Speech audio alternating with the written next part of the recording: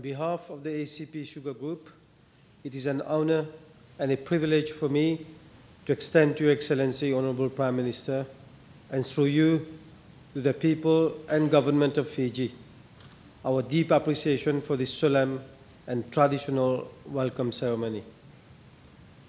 This welcome ceremony in the traditional Fijian style bears testimony to the high regard which the Fijian people to culture, tradition, values, and heritage.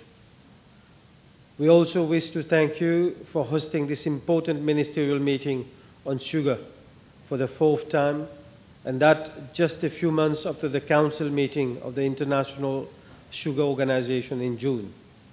This indeed demonstrates the importance which your country attaches to sugar issues.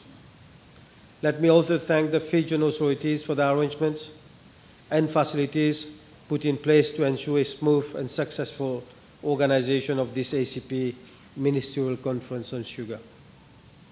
We also highly appreciate the warm welcome and hospitality extended to us since our arrival in Fiji.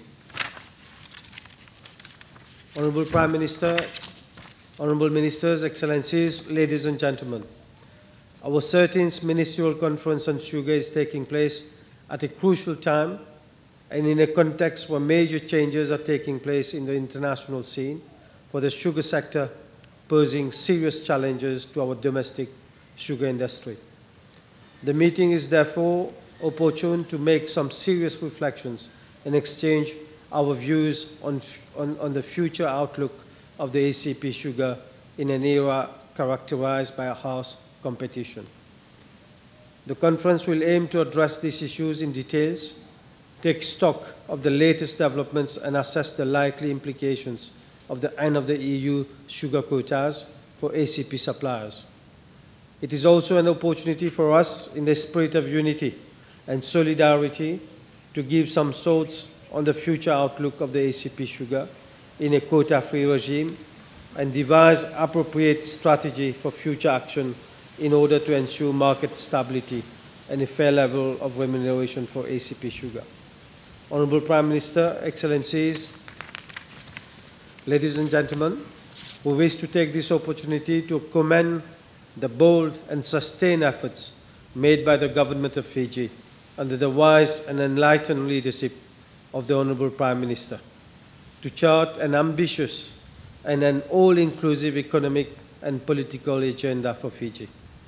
The adoption of a new constitution on the 6th September 2013, which enshrines fundamental principles such as an independent judiciary, a secular state, and a range of civil, political, and socio-economic rights, and paves the way for the holding of free and fair elections before the end of September 2014, and the strengthening of democracy is a significant step in the right direction.